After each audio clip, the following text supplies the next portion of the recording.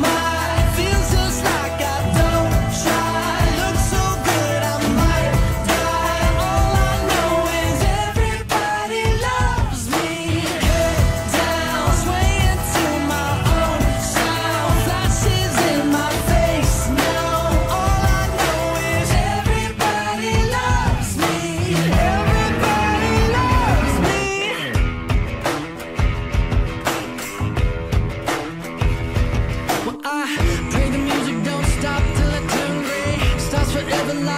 Susan never fade. He had a beautiful child named Desiree.